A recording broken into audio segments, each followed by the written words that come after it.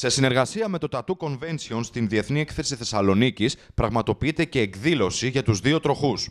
Οι λάτρες των μηχανών και όχι μόνο μπορούν να επισκεφτούν το συγκεκριμένο περίπτερο της έκθεσης και να απολαύσουν τα δικύκλα οχήματα. Συνδυάσαμε φέτος έτσι το Tattoo Festival, γιατί έχει πάρα πολύ προσέλευση κοινού. Είναι νεανικό φεστιβάλ με την έκθεση μοτοσυκλέτας. Πιστεύω τα τουάζ έτσι και τα λοιπά συνδυάζονται με τις μηχανές. Είναι λίγο πολύ μια γιορτή μοτοσυκλέτας που κουμπώνει μαζί με το τατού. Ο Έλληνας αγαπάει τις μηχανές. Έχουμε μια χώρα που μας επιτρέπει το κλίμα να οδηγούμε.